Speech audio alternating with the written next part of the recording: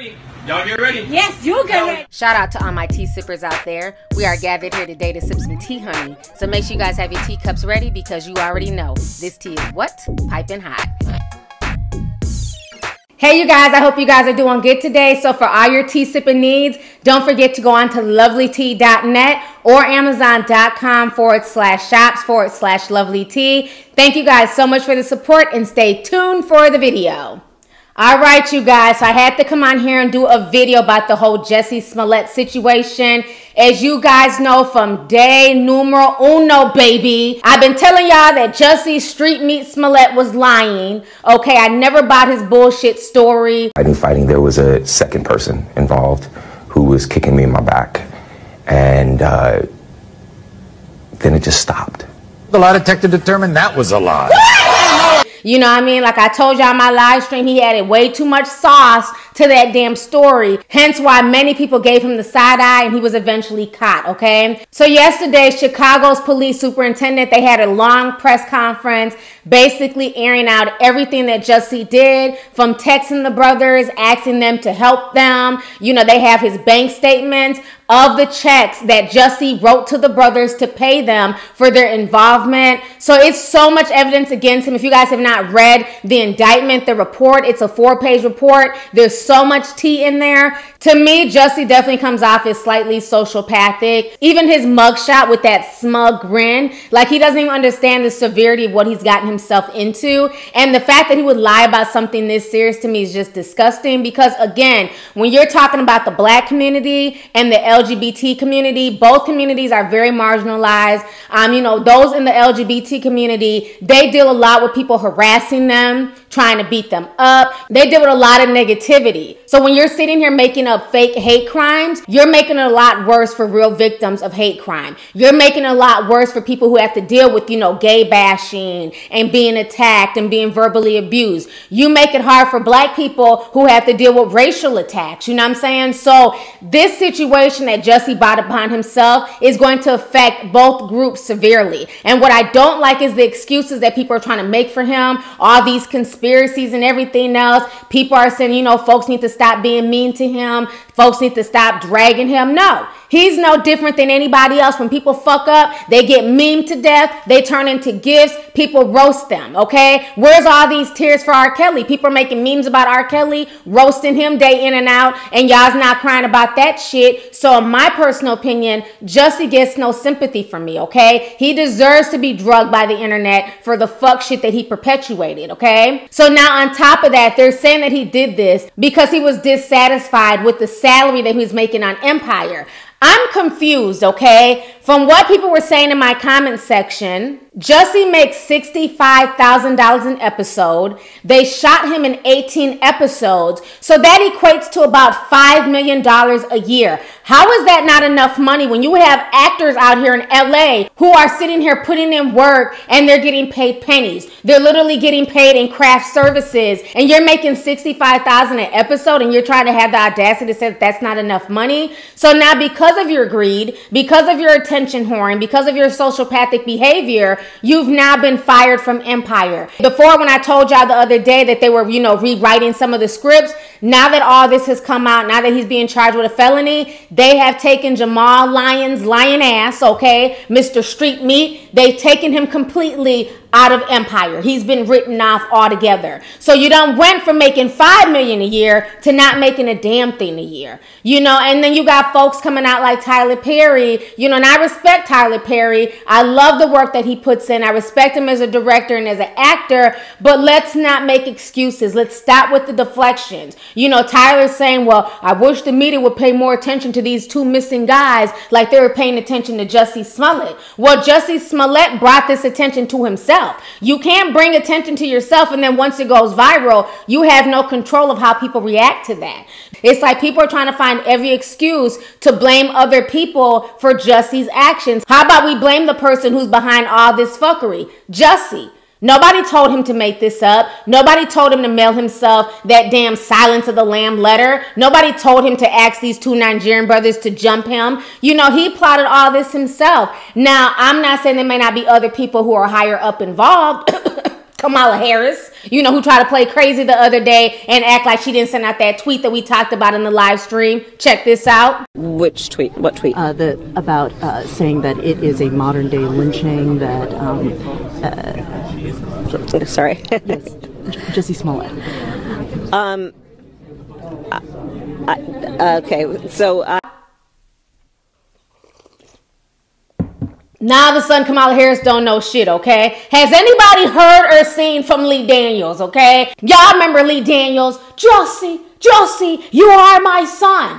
Well, why ain't he speaking out about his son now? Lee Daniels is quiet as hell. Like I said, I wouldn't be surprised if he had something to do with this, if he encouraged this fuck shit. But it's funny that a lot of the folks, you know, who are all riling behind him, you know, they're not either trying to deflect and make excuses or they're just damn silent, okay? Damn near the whole cast of Empire has not said anything. Gabrielle Sidibe said something the other day and basically she's taking up for him and saying she knows him and he would never do anything like this. Girl, bye. You never truly know people, okay? I'm sure, you know, Jeffrey Dahmer's parents thought they knew his ass too. But guess what? He was eating all types of gay men, okay? They didn't expect that shit. So you never truly know anybody, okay? So this entire situation is crazy, but I will say this, like I said today on Instagram. Even though Jussie fucked up, even though Mr. Street Meat is a damn attention whore, they're now saying that the feds are also looking to charge him and that he could be looking at anywhere from 10 to 20 years. Now, this to me is very, very scary, okay? It's one thing to do something stupid like this. Granted, an innocent person from, you know, MAGA country or innocent white person could have been arrested and, you know, charged with this. Innocent people could have been affected by his shenanigans, but the police even admitted that within 24 hours, 48 hours, they knew his story was bullshit, but they wanted to really thoroughly investigate so nobody could accuse them of racism or homophobia and things like that that I discussed in my live stream. But now this other guy is saying that he can be charged federally. And if he's charged federally, he's going to be looking at big time. So this is really scary. Y'all go ahead and check this out offer up in terms of all the resources that were put into this. Your thoughts on that, sir? Well, a couple things. First of all, the chief uh, is spot on, but that's only partial. That would only be a little bit of it. I think the true justice here, Dana, is what we're going to see is called the federal nightmare. He's going to be moving into the federal twilight zone where he's going to learn that every single time he lied to the Chicago detectives, to the state attorney, and to the FBI, and in public record, open source, is a separate standing federal felony. He's also going to learn about the Patriot Act and what sending self-mailing white powder with an anonymous, anonymous and threatening letter translates into a violation of the federal felony of terroristic act. And that's where the time will come in. This little disorderly conduct by the state, he might do a year, nine months, but we're talking 10, 20 years on the federal side. He's going into the federal nightmare zone. He will be glued but, Eric, to the Department of Justice for the rest because, of his uh, life. honey. All right, so you guys just heard what that man said. And like I stated on Instagram, I think 10 to 20 years is definitely excessive, okay? I don't agree with what he did. He deserves to be roasted, drugged, clowned, you know, parodied, all that shit. But I don't think he deserves 10 to 20 years. Like, let's, let's keep it real. Nobody died, okay? You have folks out here who have killed people who haven't gotten 20 years. So I don't think he should be looking at that much time, but I do believe he should be punished. I think a year in prison, maybe two years, would suffice. Even maybe a few months, but 10 to 20 years for this bullshit, I don't think it's that serious. I don't want to see this young man go to jail for 10 to 20 years. I'm not a fan of him anymore. I don't want to see anybody do that much time. But I do feel like they do need to make an example out of him, but it needs to be fair. You know, one to two years I can get. 10 to 20, Hell no. Especially when you got folks out here who have lied about rape, they've lied about all types of shit, and they've literally gotten a slap on the wrist. He does not deserve 10 to 20 years. But I will say this the sad part about this whole Jussie Smollett case, and thank you to those who have apologized to me, it means a lot because I was really attacked. I was attacked. I got a lot of nasty messages, DMs, people call me homophobic just because I questioned the narrative. And like I stated in my live stream, what I want to come from all of this is that we all become more critical thinkers. Is that we don't just take a mainstream narrative story that's being pushed and then run with it. We need to stop running on emotions and start looking at the facts and start breaking things down. Okay, people who are critical, we're not saying that because we're homophobic. We're not saying that because we were racist. We're saying it because the story just did not make sense. The pieces did not fit. Okay, so that's what I want to come from all of this is that we become more critical thinkers and that we don't run on emotion based off of any story just because a celebrity is attached to it. What Jussie did was selfish, and he did this for his own selfish gain. He didn't care about those two brothers and their well being when he asked them to participate in the fuckery. He didn't care about his family and their family name now being soiled. He didn't care about Empire and his other castmates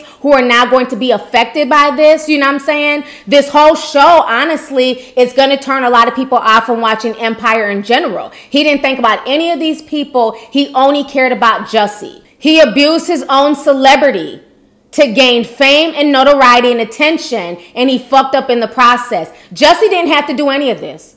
A lot of people respected him. Like I've said in my previous videos, he's never been problematic. We've never had an issue with Jussie. I've never done a story on Jussie until this until this situation. So he could have used his celebrity, his fame, his power, his prestige to really do things positive to help the gay community, to really do things positive to help black people. But instead, he wanted to be an attention whore. He wanted to get into the good graces of Kamala Harris and other people. And that's really sad. It's really sad that now that he's finding himself in this situation, he's by himself. These same folks that he was trying to appease, that he was trying to get a pat on the back from, they've all left him basically high and dry. Like I said, Lee Daniels hasn't said shit. Kamala Harris is out here stuttering and bumbling over her words. You know, so this entire situation is just really insane. It's going to be very interesting to see how everything plays out. It's going to be interesting to see what type of time that he ends up getting. Like I said, I do not agree with him getting 10 to 20 years. That's way too excessive for what he's done, but he definitely should be punished. So anyways, y'all, let's go ahead and get the discussion popping. Go ahead and leave a comment. Let me know what you guys think about this entire crazy situation. Once again, concerning Jussie Smollett, him getting caught up, charged with the felony. And then on top of that, now he's been completely written off of Empire. And the reason why he did this was because he was mad about his pay. How do you guys feel about this entire situation? And then do you agree with me? Do you feel like, you know, him getting 10 to 20 years is too excessive? Or do you feel like, you know what? He did it. He put himself in that situation oh well he should get whatever time they decide to throw at him so let's go ahead and get the discussion popping go ahead and leave a comment all right deuces what happened that night Jussie y'all bet not try it. I did not hire them brothers to jump me. It was cold out there in the street. Fought back by grabbing their cheeks. I can't deny it, I got excited when them Africans grabbed me.